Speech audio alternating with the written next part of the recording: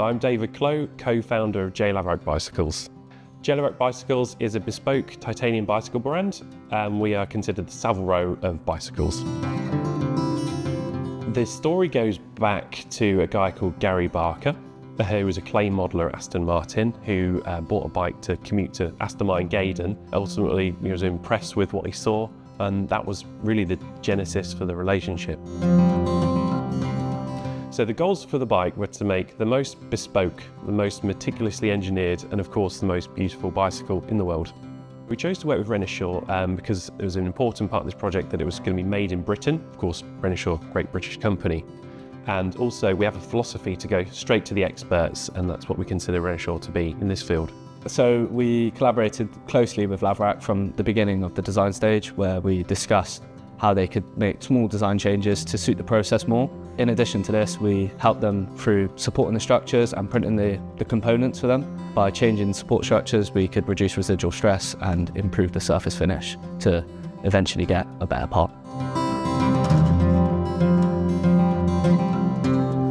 So we chose additive manufacturing for this uh, project because the bike had to be bespoke to the individual and by choosing additive we could customize the geometry per client. So for example, uh, traditional handlebar widths come in two centimetre increments, whereas with this bike we can 3D print the handlebar to within a fraction of a millimetre according to the client's shoulder width, for example.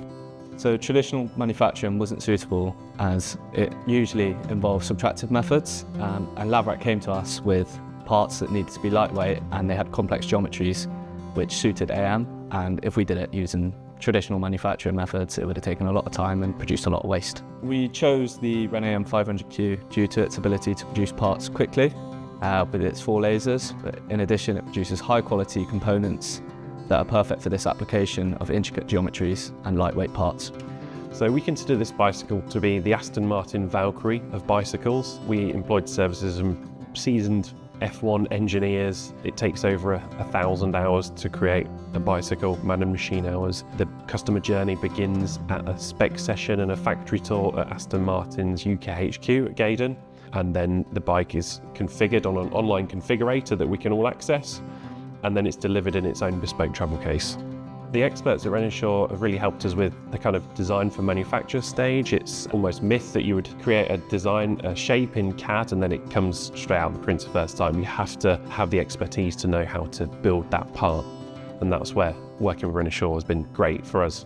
This is where we built a really good relationship with Laverack and we had multiple conversations to discuss design changes and what we could do to assist with the support structures and removing them.